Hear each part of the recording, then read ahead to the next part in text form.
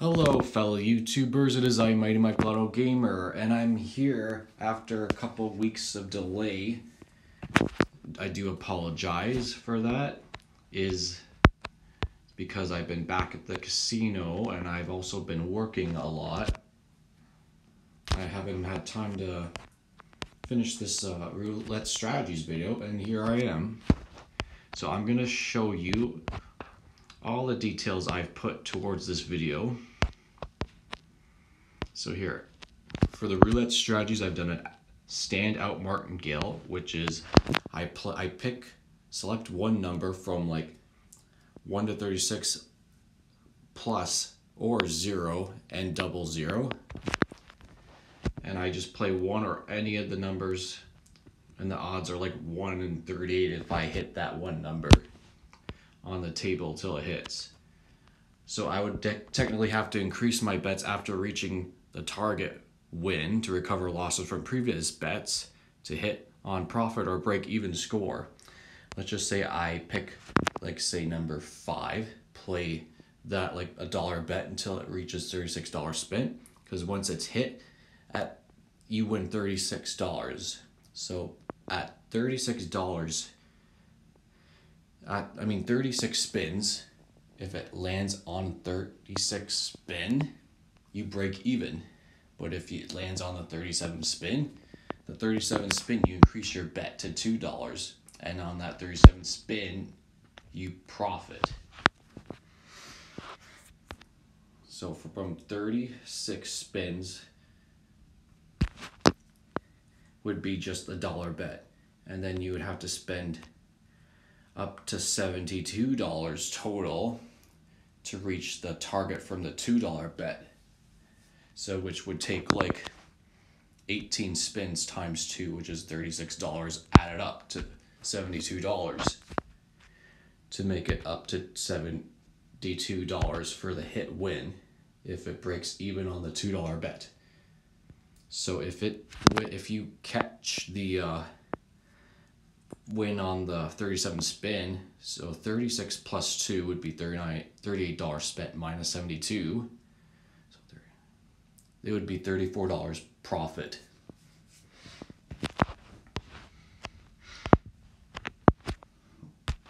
But here, and it's the same as like if you do like number 15 on the table.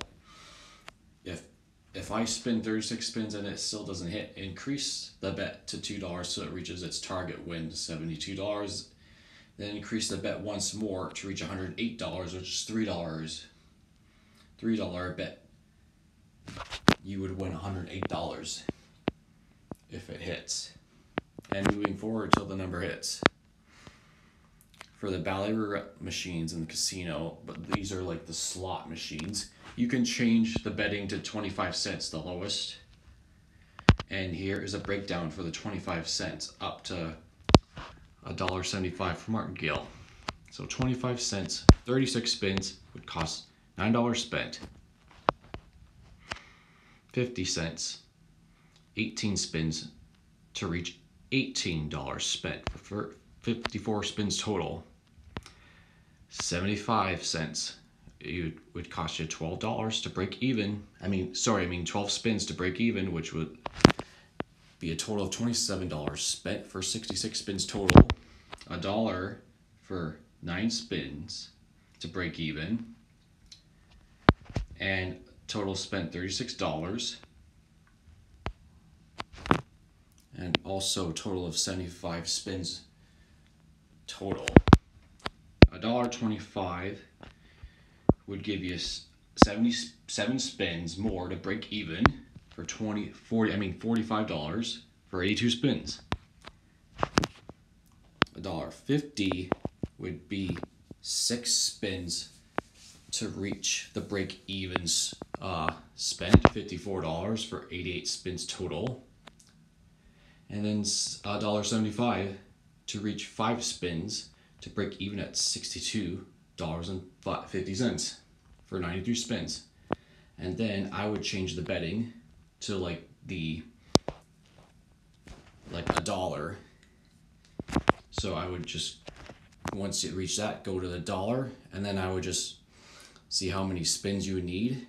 Since it's over 62 spins, I mean $62, you would have to play a $2 bet to make it up to a total of $72 spins. So you need five spins for $2 bet, and then you go, go back to the $3, which you need to add 12 spins to make a total of $108. And that would be adding 12 spins, five spins, 110 spins total if you continue and the number still doesn't hit, and then the $4 would be nine spins to break even, which would be 119 spins total. And then for $5 bet, 107 spins to make 126 spins total. And then for $6 bet,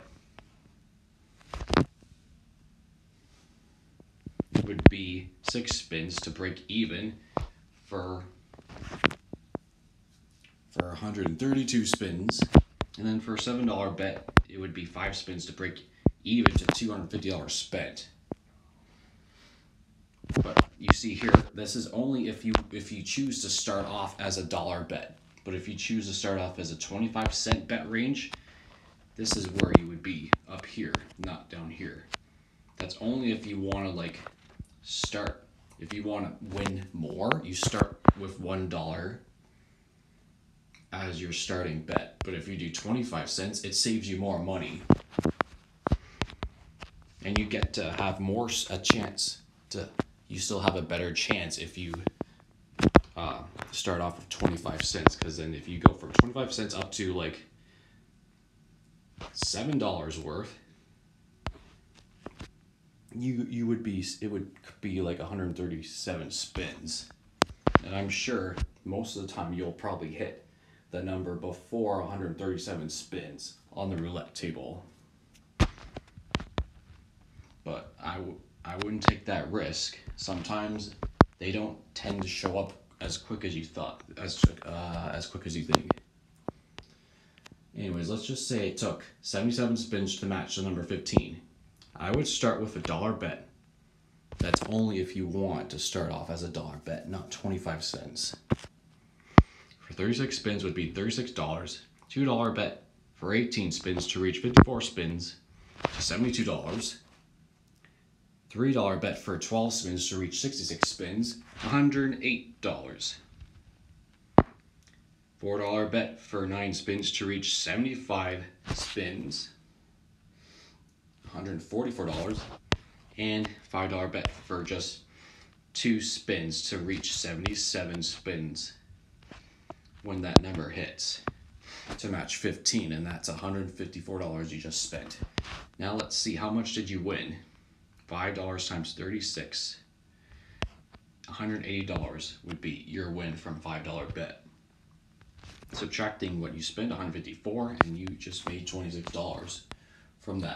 from that number. The easiest, and there's also a good way to track which number is going to pay and which one will take the longest or overdue. The easiest way to track numbers is by writing all the numbers on paper, including zero, double zero, till the last number is hit. Once you find out how many spins it took for that number to hit, you'll have the advantage to play that number for its next hit with martingale. So let's just say I start with 25 cents and just keep, do not use martingale until you reach that last number, unless if it's like, if, if you've, if you've still play like, and then you're at the 150 spins or more, you can choose to start with martingale on your last spit, on your last number. If it's on the last number that's overdue. I would start off with the number one, then whichever number after that has not hit, play in order. On some roulette slots, I would bet 25 cents to save money. Then once you play the last number that hits, you'll use that number to build up from losses, which sometimes may not always work. You may be able to match more than one number till the last number hits. Once you play up to 150 spins or if you if you feel like you want to wait longer, uh, I would do 200 spins. Then begin using martingale with $2 bet and increase bet moving forward till last number hits. Whatever bet you choose to increase. So here, these are the numbers that I would track down. Let's just say that the first number is 25 and then second would be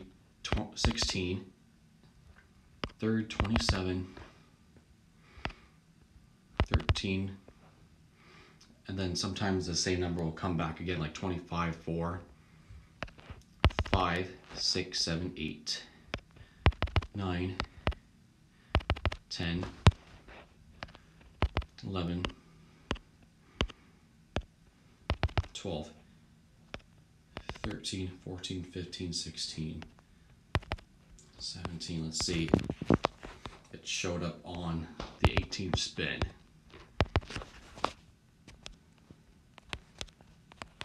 Your next number you play would be two, because it hasn't shown up. It hasn't been drawn yet.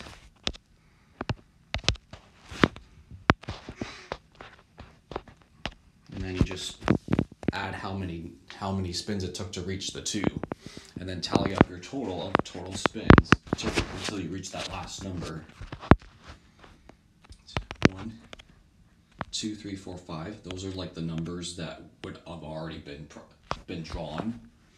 Six, seven, eight, nine, ten, eleven, twelve, thirteen, fourteen, fifteen, sixteen, seventeen, eighteen, nineteen, twenty, twenty-one, twenty-two, twenty-three, thirty-one, two. So 3, 4, 5, 6, 7, 8, 9, 4. 1, 2, 3, 4, 5, 6, 7, 8, 1, 2, 3, 5, 6, 7, 58. Okay, let's just say that it's two short 58 spins. So that would make it 76 spins total, and you still have all these numbers to match. Now your next number has to be 5. It has to be in order. To try overdue numbers because once you hit that overdue number, you'll be able to match that number quicker with martingale on its next hit. But it sometimes will not work because it'll still choose to not pay out depending on how often it has paid out previously.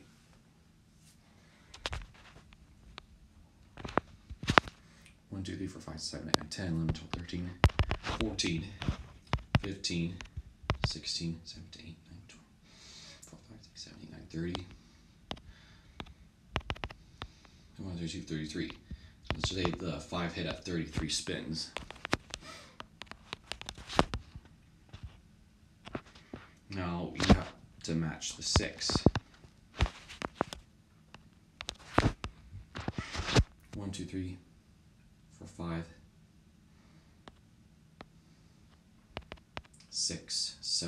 10, 11, 12,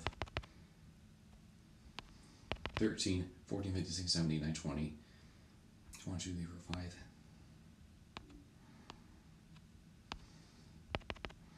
26, 27, 29, 30, 31, 32, 33, 34, 35, 36, 37, 39, 40, 41, 42, 43, 44, 45, 46, 47, 48, 49, 50, 1, 2, 3, 4, 5, 7, 9, 66.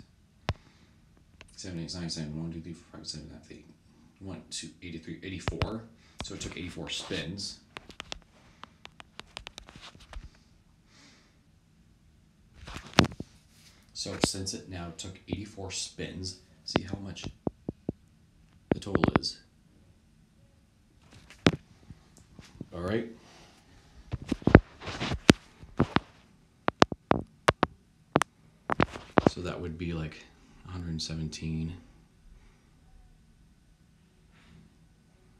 So 175. 193. So you would probably have already increased. You can uh, you can choose to do martingale or wait until 200 spins. So that's basically 93 spins already.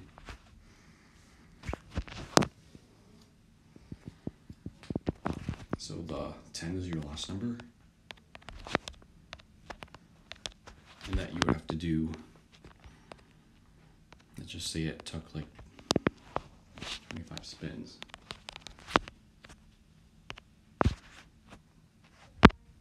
So 218 spins. So if you were to do a $2 bet, let's just uh, see how much it is.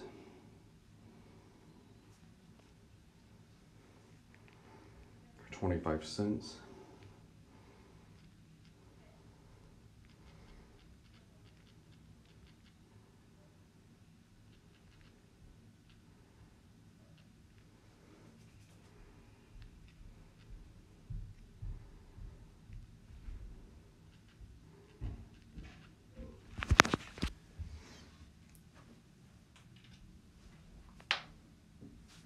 Give me one moment. I'm just calculating.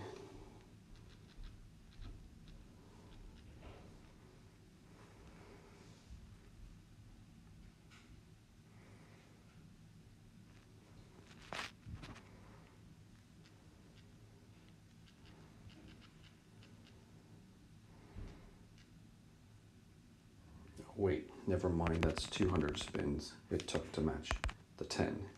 So for your last number, it took 200 spins to match that last number. So how much did you get back?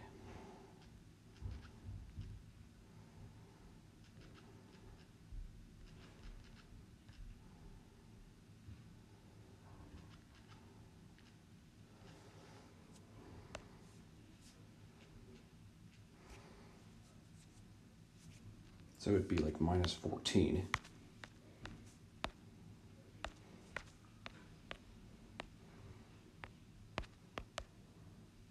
Because 200 spins for 25 cents is $50. Minus 9 four times. Be subtract the winnings would be $14. So, yeah, so if you want, you can choose play 10 with martingale from 25 cents and up until you try to make some profit and then move on to number tracking again as I just showed you to use martingale on that next number that's overdue. So if this video helped, if you enjoyed this tutorial of the roulette strategy. Please leave a comment down below and tell me if you agree with this strategy, if you recommend it, or have any other ideas in mind. Share for good luck. Also, do not forget to like and subscribe to my channel. And please be sure to hit that notification button if you want to receive more updates. Because I'll be starting with the November scratch off challenge momentarily. So if you guys are still playing the lottery out there, good luck. Stay tuned for more coming your way. Thanks for watching and have a good day.